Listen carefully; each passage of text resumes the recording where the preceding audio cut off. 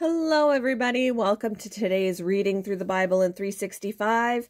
Today we are going to be focusing on Jeremiah chapter 30 and 31, and then the entire book, because it's short, of Philemon. So let's go ahead and get started with Jeremiah chapter 30. Excuse me. This is the word that came to Jeremiah from the Lord. This is what the Lord, the God of Israel, says Write in a book all the words I have spoken to you.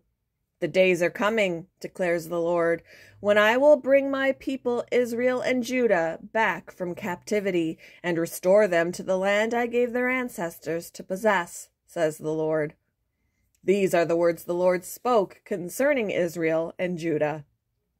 This is what the Lord says Cries of fear are heard, terror, not peace.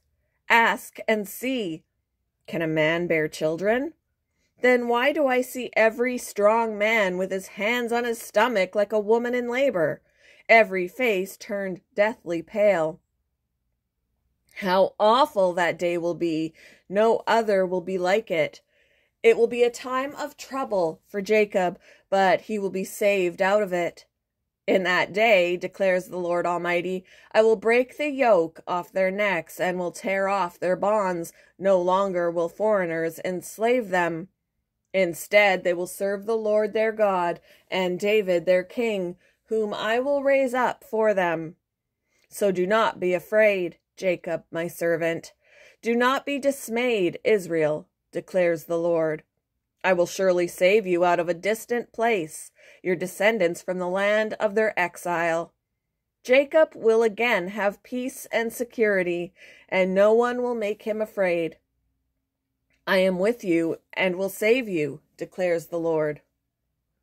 Though I completely destroy all the nations among which I scatter you, I will not completely destroy you.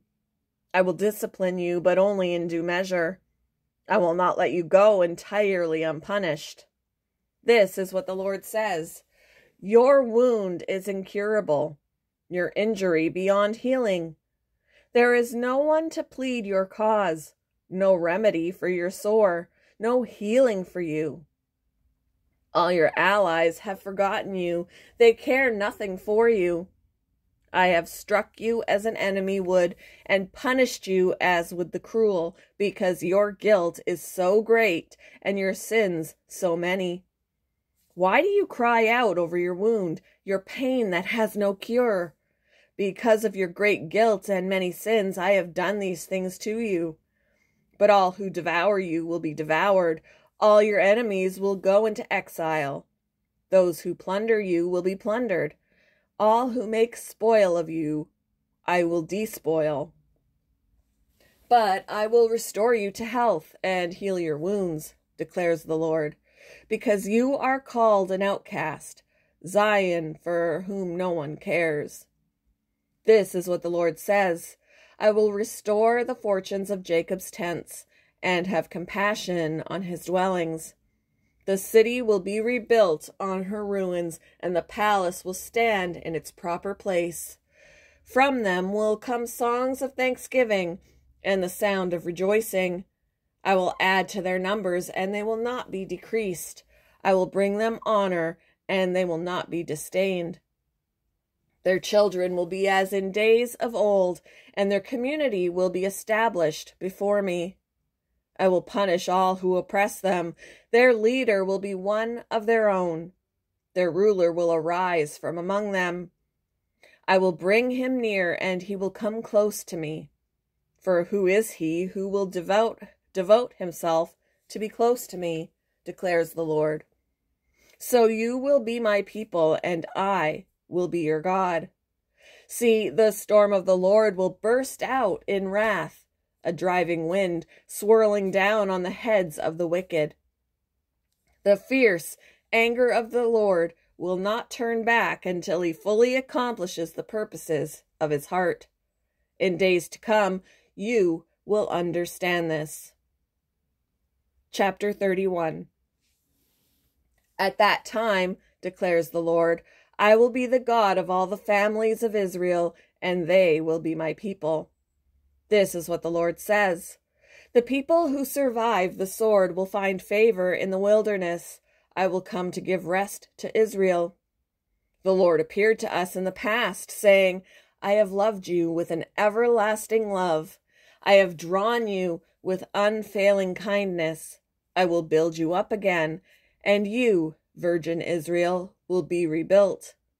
Again, you will take up your timbrels, tri- timbrels and go out to dance with the joyful. Again, you will plant vineyards on the hills of Samaria. The farmers will plant them and enjoy their fruit. There will be a day when watchmen cry out on the hills of Ephraim, Come, let us go up to Zion, to the Lord our God. This is what the Lord says. Sing with joy for Jacob, shout for the foremost of the nations, make your praises heard, and say, Lord, save your people, the remnant of Israel. See, I will bring them from the land of the north and gather them from the ends of the earth. Among them will be the blind and the lame, expectant mothers and women in labor. A great throng will return. They will come with weeping. They will pray as I bring them back. I will lead them beside streams of water on a level path where they will not stumble, because I am Israel's father, and Ephraim is my firstborn son. Hear the word of the Lord, you nations. Proclaim it in distant coastlands. He who scattered Israel will gather them and will watch over his flock like a shepherd. For the Lord will deliver Jacob and redeem them from the hand of those stronger than they. They will come and shout for joy on the heights of Zion. They will rejoice in the bounty of the Lord. The grain and the new wine and the olive oil, the young of the flocks and herds. They will be like a well watered garden, and they will sorrow no more. Then young women will dance and be glad, young men and old as well. I will turn their mourning into gladness. I will give them comfort and joy instead of sorrow.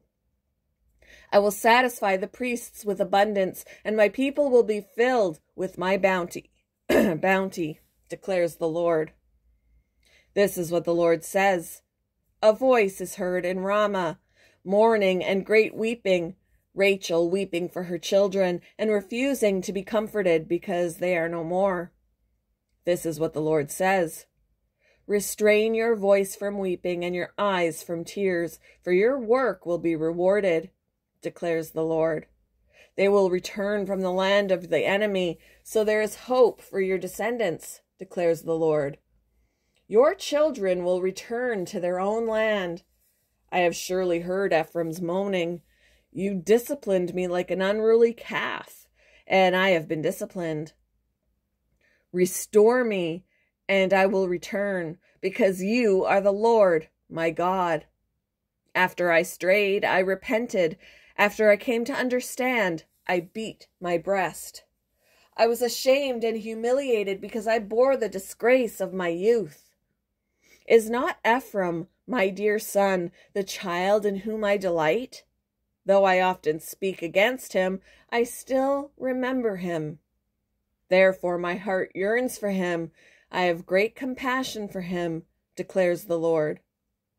Set up road signs, put up guideposts, take note of the highway, the road that you take. Return, Virgin Israel, return to your towns. How long will you wander, unfaithful daughter Israel? The Lord will create a new thing on earth. The woman will return to the man.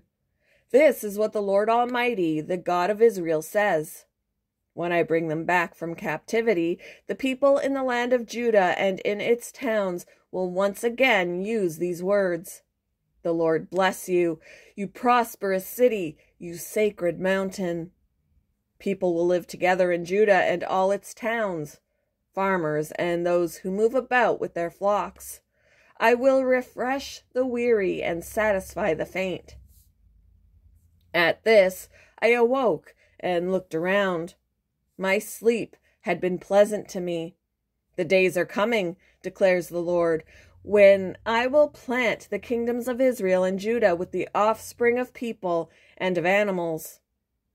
Just as I watched over them to uproot and tear down, and to overthrow, destroy, and bring disaster, so I will watch over them to build and to plant, declares the Lord.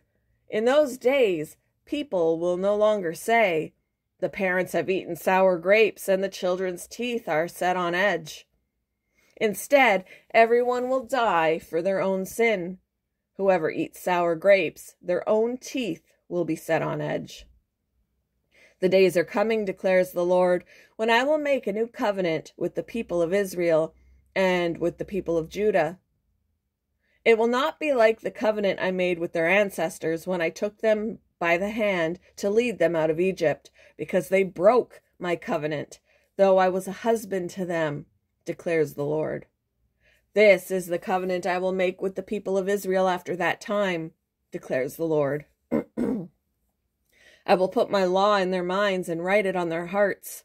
I will be their God, and they will be my people. No longer will they teach their neighbor or say to one another, Know the Lord, because they will all know me, from the least of them to the greatest, declares the Lord. For I will forgive their wickedness and will remember their sins no more.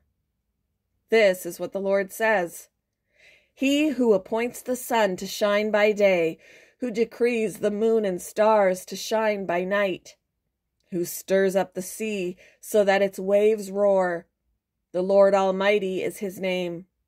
Only if these decrees vanish from my sight, declares the Lord, will Israel ever cease excuse me, being a nation before me. This is what the Lord says.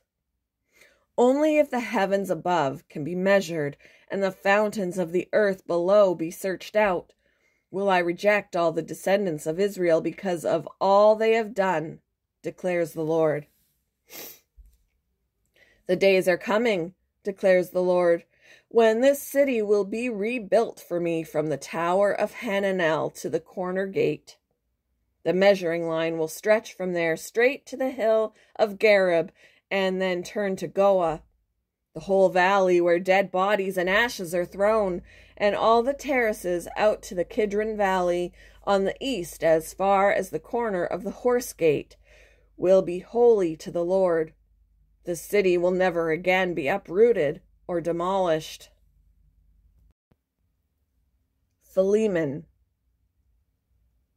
Paul, a prisoner of Christ Jesus, and Timothy, our brother, to Philemon, our dear friend and fellow worker, also to Apphia, our sister, and Archippus, our fellow soldier, and to the church that meets in your home. Grace and peace to you from God our Father and the Lord Jesus Christ. I always thank my God as I remember you in my prayers, because I hear about your love for all his holy people and your faith in the Lord Jesus. I pray that your partnership with us in the faith may be effective in deepening your understanding of every good thing we share for the sake of Christ. Your love has given me great joy and encouragement because you, brother, have refreshed the hearts of the Lord's people. Therefore, although in Christ I could be bold and order you to do what you ought to do, yet I prefer to appeal to you on the basis of love. It is as none other than Paul, an old man, and now also a prisoner of Christ sorry, a prisoner of Christ Jesus. Excuse me. That I appeal to you for my son, Onsim, once, once, Onesimus, who became my son while I was in chains. Formerly he was useless to you, but now he has become useful because to you Uh, but now he has become useful both to you and to me. I am sending him, who is my very heart, back to you. I would have liked to keep him with me so that he could take your place in helping me while I am in chains for the gospel. But I did not want to do anything without your consent, so that any favor you do would not seem forced, but would be voluntary. Perhaps the reason he was separated from you for a little while was that you might have him back forever, no longer as a slave, but better than a slave, as a dear brother. He is very dear to me, but even dearer to you, both as a fellow man and as a brother in the Lord. So if you consider me a partner, welcome him as you would welcome me. If he has done you any wrong or owes you anything, charge it to me. I, Paul, am writing this with my own hand. I will pay it back, not to mention that you owe me your very self. I do wish, my brother, that I may have some benefit from you in the Lord. Refresh my heart in Christ. Confident of your obedience, I write to you, knowing that you will do even more than I ask. And one thing more prepare a guest room for me, because I hope to be restored to you in answer to your prayers. Epaphras, my fellow prisoner in Christ Jesus, sends you greetings, and so do Mark, Aristarchus, Demas, and Luke my fellow workers. The grace of the Lord Jesus Christ be with your spirit. Thank you for joining me for today's reading through the Bible in 365. I am going to take a break from it for Christmas, so there won't be a 365 reading tomorrow or on Monday. So we will resume on Tuesday, the day after Christmas. I hope you all have a very Merry Christmas, and I will see you in the next one, guys. Bye.